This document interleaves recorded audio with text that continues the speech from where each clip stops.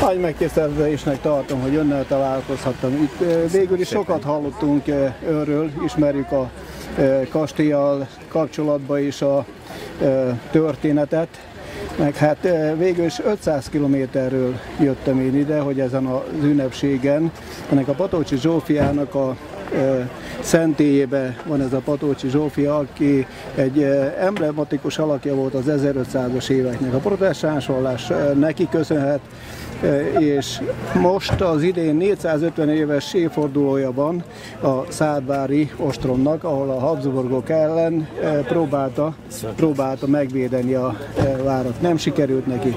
Ő akkor onnan eljött, és mi végül is 450 év után májusban utána jöttünk, én pedig most képviselem a Szádvárat, illetve Szőligetet. Úgyhogy nagy megtiszteltetésnek érzem, hogy tudnám mondani magáról valamit, hogy hol él, merre Én Marosvásárhelyen élek, 1953-ban születtem, franciát és olasz tanítok a Bolyai gimnáziumban és a most éppen felfüggesztett katolikus gimnáziumban. Igen, hallottam róla.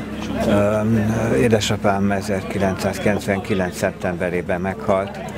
Én a kükülővári életet az ő elbeszéléseiből ismerem és...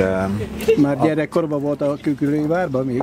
Vagy? Voltam itt, igen, és emlékszem, hogy a falubeliek mekkora nagy szeretettel fogadták, és az megerősített engem abban a hitben, hogy végül is ami az arisztokráciának az akkori feladata volt, vagyis a vidék boldogulását biztosítani, azt ő teljes mértékben teljesítette, úgyhogy ide emelt fővel jövök, és ugyanakkor nagyon sajnálom, hogy ő nem lehet itt.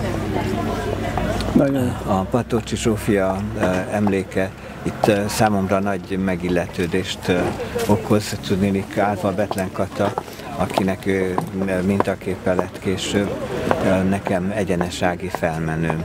Tudni, a Haller László ágából származunk, mi fejregyháziak.